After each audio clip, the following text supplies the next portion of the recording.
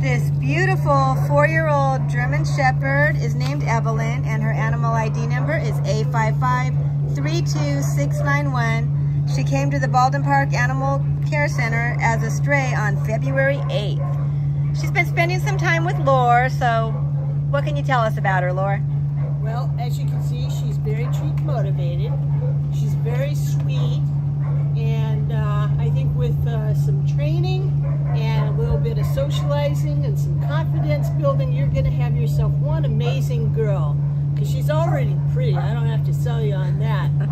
but uh, yeah, just give her give her a little bit of socializing, some training, and uh, she's going to shape up to be like an amazing, amazing girl. And she takes her treats very gently. what so a come on down and meet her. What a beauty. Come and get her out of here. We have too many dogs here that need forever homes.